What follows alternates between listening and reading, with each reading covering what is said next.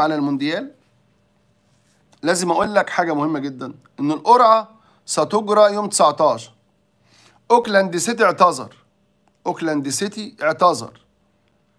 ولقيت قطاع كبير جدا من ال social بيتكلم إن خالد الغندور بيقول إن الزمالك عاوز يشارك.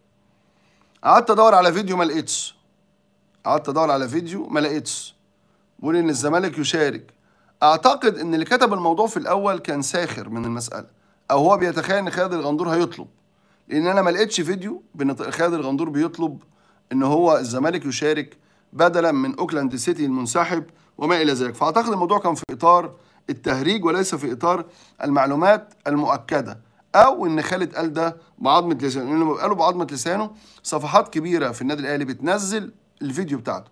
فبصيت فما لقيتش. بصيت على قناة الزمالك قلت إيه ده يعني؟ ده لو حصل ده يبقى اتجنن.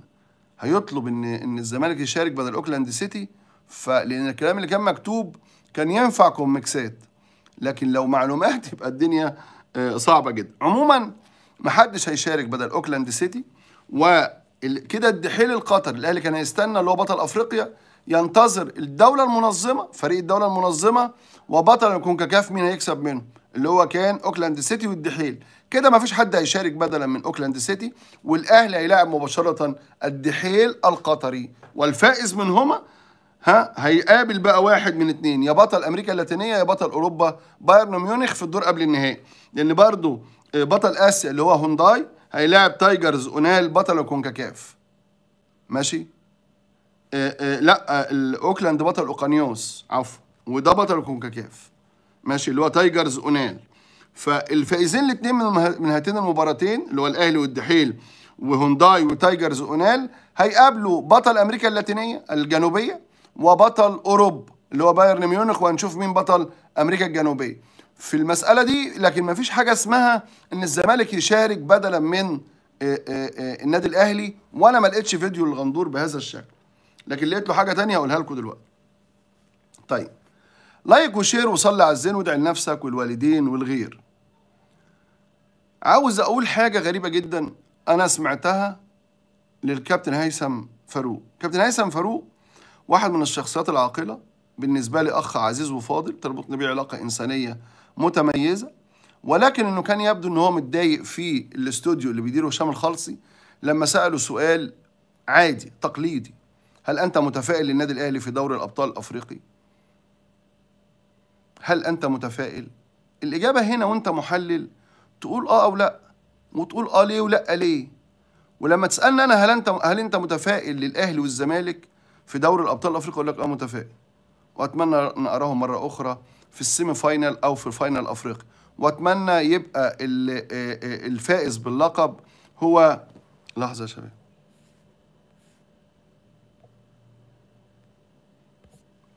وأتمنى أن يكون اللقب مصريا خالصا في المباراة التي ستقام في 17 يوليو نهائي أفريقيا 17 7 في أحد الدول اللي لسه لم يتم اختيارها. لما تسألني السؤال ده لكن لما أجي أقول إن دوري مش إن أنا أتفائل أو ما اتفائلش هنا كده مش شطارة آه ممكن الموضوع ده يعجب المتعصبين في الزمالك. وإن أنا أقول إن أبو تريكة أو وائل جمعه يتفائلوا للأهلي أو ما يتفائلوش لست متواجدا في الاستوديو التحليلي لقناة بين سبورت هي مش قناة فئوية دي قناة عامة ولكل الدنيا وفيها كل مش مش يعني إيه أنت مش طالع بصفتك زملكاوي. لو أنت طالع بصفتك مدير كورة ولا ولا عضو مجلس إدارة ولا مدير فني من حقك إنك تقول لا أنا مش هعلق على نتائج النادي الأهلي. أو تقول لا ما أنا مش مش عاوز النادي لا أتمنى وصول النادي الأهلي للمباراة النهائية ومش متفائل له وكذا وكذا وكذا وأنا أتمنى إن أنا أوصل لأن إحنا فريقين متن... أنت حر في نفسك حر في نفسك. لكن شخصية الكابتن هيثم فاروق اللي أنا أعرفها مش اللي أنا شفتها في الرد مش اللي أنا شفتها في الرد. اللي أنا شفته في رده ده كان عصبي. هل هو كان شخصيا متضايق؟ هل هو طبعا مش أنا شفت اللقطة ما شفتش الاستوديو كله. هل هو كان هشام الخلصي دايس عليه في في الحلقة؟ هل هو بيقول له السؤال عشان يغلس عليه ويوجع بطنه ويوجع قلبه ويفكره بالقضية؟ ممكن ما تعرفش. لكن الرد ما عجبنيش. ما عجبنيش إن يقول أبو تريكة أو أو أو وائل جمعة يتفائلوا الأهلي أو ما يتفائلوش. لا أنت من حقك إنك أنت تجاوب. أنت في الاستوديو التحليلي محللا فنيا. فانا أجي أقول والله أنا متفائل للأهلي عشان النادي الأهلي ده فاز بالثلاثية ويقترب من الخماسية قدامه لقبين تانيين آه، آه، السوبر الافريقي والسوبر المصري آه، ومش متفائل مثلا للزمالك لأنه ما خدش ولا لقب. وارد. وارد تقول إن أنا متفائل للأهلي والزمالك لأن الاثنين بيمتلكوا مجموعة من اللاعبين المميزين يمكنهم الوصول إلى المحطة النهائية. ووارد تقول ما أقدرش أحكم غير لما أشوف مباريات دور ال 16 وجدول دور وقرعه دور الثمانيه وارد. لكن العصبية اللي ظهر عليها يعني صديقي المحترم كابتن هيثم فاروق مش بتاعته مش لايقة عليه. مش لايقة عليه إنه يبقى عصبي أو إنه يبقى منفعل أو إنه عاوز يوصل لجمهور الزمالك أنا حامل حمى لا. ده مش يعني ما يليقش عليك الدور ده. دعم نادي الزمالك كما تشاء. حقك.